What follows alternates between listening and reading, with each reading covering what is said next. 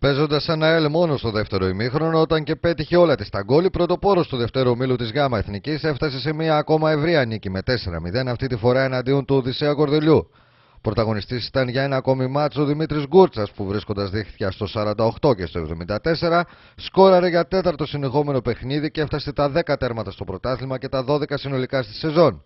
Βέβαια, τον γόρδιο δεσμό της αντίπαλης άμυνας είχε λύσει στο 46 ο Μπλέντι, που επέστρεψε στα γκολ έπειτα από σχεδόν 1,5 μήνα, ενώ το κερασάκι στην τούρτα μπήκε στο 90 από τον νεαρό Παπαϊωάννου και αφού προηγουμένως το 86 ο Κώστας Νεμπεγλέρας είχε σημαδέψει τη συμβολή των δοκών. Ωστόσο, στις τάξεις των Βυσσινή εξακολουθούν να προβληματίζονται έντονα για το έκτρωμα που γέννησε η κλήρωση του κυπέλου, καθώς την ερχόμενη Κυριακή πρόκειται να φιλοξενήσουν για το συγκεκριμένο θεσμό την Κοζάνη σε ένα μάτς που θεωρητικά και σύμφωνα με τη διαδικασία θα θέλουν και οι δύο αντίπαλοι να ιτηθούν, αφού στην επόμενη φάση θα πρέπει να παίξουν ξανά, αλλά στην έδρα του ιτημένου.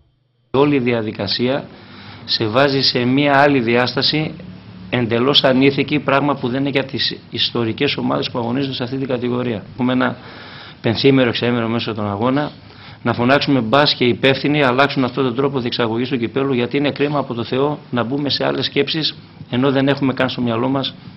να μπούμε σε αυτή τη διαδικασία. Στο μεταξύ, κάποια φημολογία που αναπτύχθηκε σχετικά με απομάκρυνση του Γενικού Διευθυντή της ΕΕ Νίκου Γαλανακόπουλου διαψεύστηκε κατηγορηματικά από τον χρηματοδότη Βαγγέλη Πλεξίδα σε επικοινωνία που είχαμε σήμερα μαζί του. Όσο για την απουσία του πρώτου από το χθεσινό μάτς, ο ίδιος την απέδωσε σε βάρη κρυολόγημα.